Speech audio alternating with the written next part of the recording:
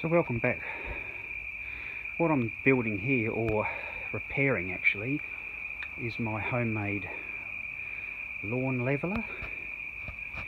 Um, three pieces of pine, four by one and a half, or 90 by 35, and I'm just getting the surface in coplanar with itself.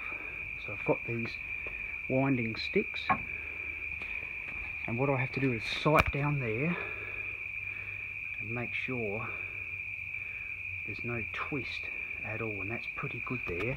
If I come back the other way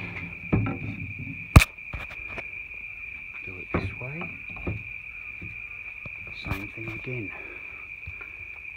For what we're doing that's pretty good.